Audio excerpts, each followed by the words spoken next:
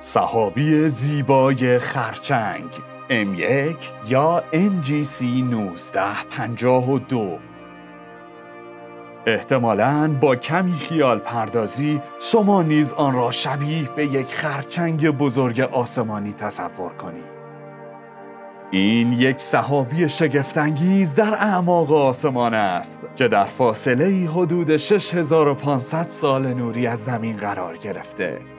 صحابی خرچنگ نتیجه پایان شکوهمند زندگی یک ستاره است. مرگ ستاره ای که به شکل یک انفجار عظیم ابرنواختری اتفاق افتاده. در مرکز این صحابی زیبا یک ستاره کوچک و اسرارآمیز وجود دارد. جرمی که درخشش لحظه ای دارد و احتمالاً همان ستاره است که سبب ایجاد این توده عظیم از گاز و غبار در فضا شده.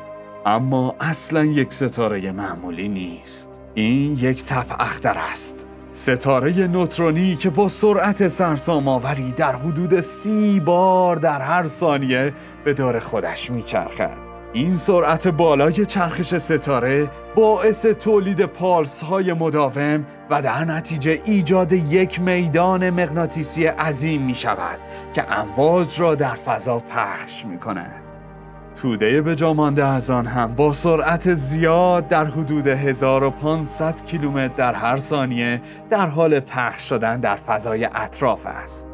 گسترش سریعی که آنقدر ادامه می‌یابد تا از درخشش این توده گازی کم شود و آرام آرام طی هزاران سال محو گردد. این یکی از تازه ترین تصاویری است که تا این لحظه سازمان فضایی ناسا از این صحابی شگفتانگیز منتشر کرده.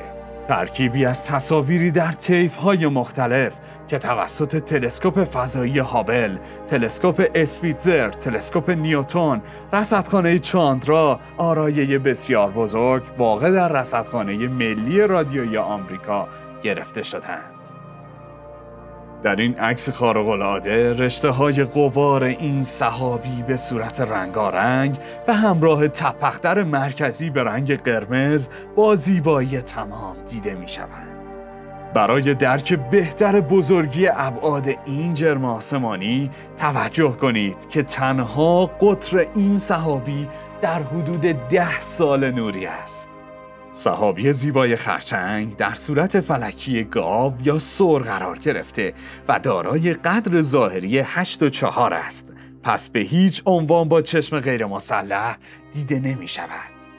اگر علاقه من به دیدن این جرم با شکوه هستید میبایست برای دیدن آن در یک آسمان تاریک و پرستاره از یک تلسکوپ مناسب استفاده کنید. البته حتما به یاد داشته باشید. تصویری که خواهید دید با عکس تلسکوپ های قدرتمندی چون تلسکوپ هابل خیلی متفاوته و به احتمال زیاد شما چیزی به جز یک توده مهالود کم فروغ در میان ستارگان اعماق کیهان نخواهید دید.